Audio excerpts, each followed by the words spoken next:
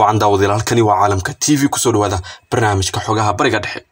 Qodobada aad barnaamijka iyaga maalinimadan maanta aad ku daawan doontaanna waxaa ka mid ah faransiiska oo u yeeray safiirkooda dalka turkiga xilli xiisada labada dal ay cirka isku sii shareerayso. Madaxweyne rajab dayib erdogaanka dalka turkigana waxa uu shaaciyey arrin kale oo sii haleynaysa xiriirka dalkiisa uu la leeyahay dalka maraykanka. Dowladaha dalalka etoobiya iyo maraykankana waxaa lagu soo waramayaa in halkii ugu xumayd ay kala marayaan abid qodobadaas oo faahfaahsan daawadayaal u diyaar garooba wahagaag daawadayaal aan ku bilaabna ee dalka faransiiska ayaa lagu soo waramaya inay u yeereen safiirkooda dalka turkiga. Xilli xiisada labada dal ay cirka isku sii shareerayso.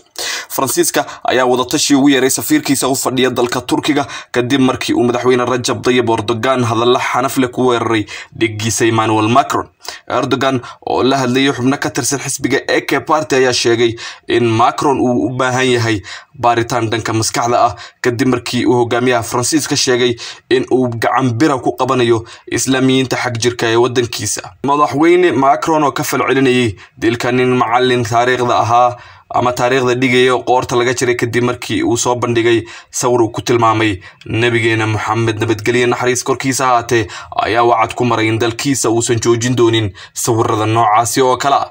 mas'uul u hadlay faransiiska ayaa sheegay in erdogan uu yahay ama uu u dhaqmay si aan la aqbali karin oo xushmad darro ah. Labadan hogaamiye oo ay dalalkoodu ay ka wada tirsan yihiin gaashaanbuurta nato ayaa muddooyinkii ugu dambeeyey isku hayay arrimo ay ka mid yihiin colaadaha suuriya libiya iyo sidoo kale nagorno karabakh oo armeniya iyo azerbaijan isku haystaan. Balse hadalkan erdogan ayaa ahaa mid si toosa uu ugu weeraraya shakhsiyadda emmanuel macron madaxweyne erdogan ayaa ku carooday qaar ka mid ah dhismayaasha dowladda hoose ee faransiiska oo lagu soo bandhigay sawir gacmeedkii macalinka la dilay xilli xus loo sameynayay arbacadii waxa uu sidoo kale dhaliilay hadal uu macron jeediyey ka hor dilkaasi ee ahaa in diinta islaamku ay dhibaato xoogan wajahayso caalamka oo dhan. Muslimiinta faransa ayaa ahaa kuwa ugu badan ee yurub islamarkaana gaaraya toban boqolkiiba tirada shacabka dalkaasi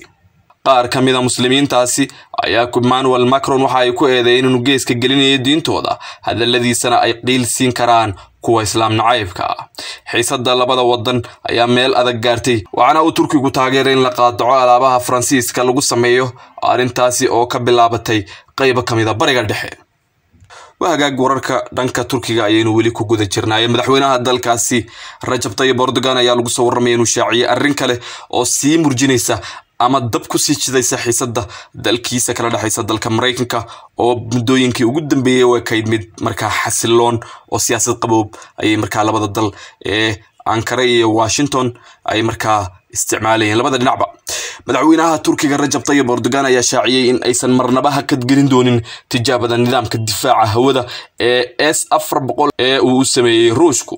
erdogan ayaa si rasmi ah u shaaciyey in dowladiisu ay bilowday in ay tijaabiso nidaamkaasi islamarkaana aysan cidna uga amar qaadan doonin awood kasta oo jirta. Madaxweynaha ayaa iska indhatiray walaaca uu maraykanku ka qabo tijaabada nidaamka difaaca ee uu sameeyey ruushku kaasi oo washington u arko arrin halis gelin karta amniga qowmiga. Ah waxa uu intaasi ku sii daray haddii aynan tijaabinin awoodaha aan haysanno markaa maxaan samaynaynaa? Midaasi oo uu ku sii xoojinayo inaysan ankara cidna uga amar qaadan doonin horumarinta awoodeeda dhanka hubka. Hadalkan ayaa dab ku sii qabtay xiisada u dhexaysa maraykanka iyo turkiga oo xilligan u muuqata inay marayso meeshii ugu sarraysay kadib markii ay washington si carale uga jawaab celisay wasaaradda difaaca maraykanka ayaa saacado un kadib hadalka erdogan ku sifaysay. Wada xeelada uu ku qiyaameynayo xulafadiisa nato. Washington ayaa ku doodaysa in tijaabada uu ku adkaysanayo turkigu ay khatar gelinayso cawaaqib xumada xiriirka labada dal gaar ahaan midka amniga waxaana xusid mudan in labada dalba ay ka wada tirsan yihiin gaashaanbuurta nato ugu dambeynna xiisad hadalun hadda ku eg ayaa waxa ay maraysaa halkii ugu xumayd taasoo u dhexaysa dowladaha etoobiya iyo sidoo kale dalka maraykanka.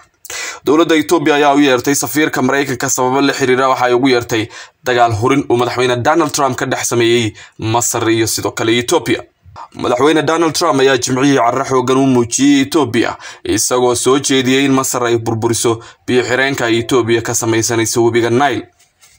wasiirka arrimaha dibadda dalka ethoobiya geduwa angarjio ayaa waxa uu ugu yeeray safiirka maraykanka mark ray in uu sharaxaad ka bixiyo hadalladaasi. Hurinta dagaal dhex mara ethoobiya iyo masar oo uu sameeyo madaxweyne maraykan ah kama tarjumayso saaxiibtinimada iyo isbahaysiga muhiimka ah ee etoobiya iyo maraykanka mana ah wax lagu aqbali karo xeerarka caalamiga ee lagu maamulo xiriirada dalalka ayaa lagu yiri bayaan ka soo baxay wasaaradda arrimaha dibadda etoobiya trump ayaa sheegay hadalka ka dhanka ah biyo xireenka etoobiya isaga oo ku dhawaaqaya heshiis ay xiriir ku yeelanayaan israa'iil iyo suudaan oo sidoo kale cabsi xoogan ka qabta in biyo xireenkaasi uu yareyn doono biyaha ay ka hesho webiga nile ethoobiya suudaan iyo sidoo kale masar ayaa waxaa muddo ka dhex taagnaa muran xoogan oo la xiriira biyo xireenka. Kaasi oo masar iyo suudaan ay diidan yihiin in la buuxiyo iyada oo aan heshiis rasmiya laga gaarin. Trump ayaa sheegay in uu heshiis dhex dhigay dalalkan balse etoobiya ay ka baxday. Heshiis ayaan dhex dhigay kadibna nasiib darro ethoobiya ayaa jabisay heshiiska taasi oo ay ahayd inaysan marnaba samayn. Taasi khalad weyn ayay ahayd ayuu yiri madaxweyne donald trump waa xaalad aada halis u ah sababtoo ah masar uma dulqaadan doonto waana ay burburin doonaan waana u sheegay si cadna waan ugu sii sheegayaa. Masar waa ay burburin doontaa biyo xireenkaasi waana in ay wax ka qabtaan ayuu yiri madaxweyne donald trump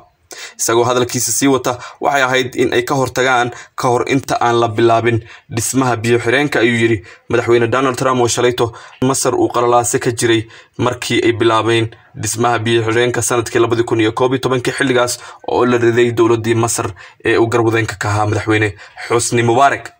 trump oo xulafo dhowla ah madaxweynaha masar cabdilfatax al sisi ayaa ogolaaday codsiga qaahira si uu u dhexdhexaadiyo dhinacyada iyadoo ay wadahadalada uu hogaaminayo xogayaha maaliyadda maraykanka ee steve manchin. Waaxda arrimaha dibadda ee maraykanka ayaa bishii sebtembar sheegtay inay jarayso kaalmada ay siiso etoobiya sabab la xiriira in adis ababa ay bilowday buuxinta biyo xireenkaasi lama oga xiisada maraykanka iyo sidoo kale dalka etoobiya haatan ka soo cusboonaatay halka ay ku dambeyn doonto iyo markaa in si dhib yar loo dhammayn doono